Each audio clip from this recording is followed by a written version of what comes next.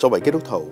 最重要嘅系聆听上帝嘅话语，听到系基督徒生活中不可或缺嘅部分。创世电视重视上帝嘅话语，希望可以藉住熟灵教室，邀请众多被神高没使用嘅仆人，按住正义分解上帝嘅话语。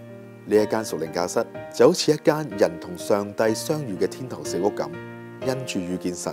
生命被恢复、被改变。透过属灵教室节目贴近生活观众关心嘅专题思考圣经嘅教导，并贴近上帝嘅心意去行事为人。天堂小屋属灵教室嘅成立，为要与大家一起细味品尝神嘅话语。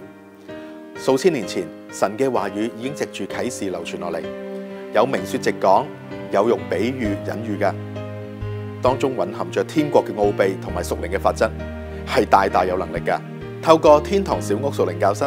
我哋深入浅出咁样分享真理嘅领悟，好让我哋明白、遵从、实践喺我哋日常生活之中，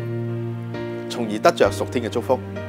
让我哋一同尽心、尽性、尽意、尽力，将神嘅话语刻喺我哋心板上边，并且透过行动彰显出嚟。亲爱嘅主耶稣，你嘅话语系何等嘅宝贵，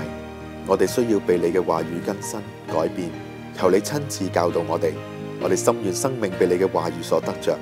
离开基督道理嘅开端，竭力进入到完全嘅地步。主耶稣，求你赐俾我哋一颗谦卑受教嘅心。当我哋进入到呢间与你相遇嘅小屋，呢间属名教室，就愿意俯伏喺你嘅宝座前，将我哋嘅生命所遇见嘅所有问题，都陈明喺你嘅面前，为要等候你嘅指教。主耶稣。求你大大使用创世电视嘅熟灵教室，直至亲自成为众百姓脚前嘅灯，路上嘅光。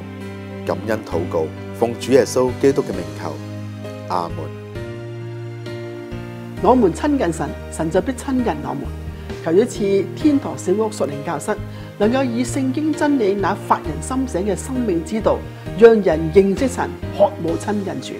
愿意一生以跟从主为乐。求亲爱圣灵亲自降临在每一个听到人身上，让佢哋心里明白，渴慕认识主更深。感谢神，奉主耶稣基督圣名求，阿门。我哋恳切盼望顶姊妹参与四十日祷告守望大行动，与我哋同行，共同见证上帝成就媒体宣教嘅新里程。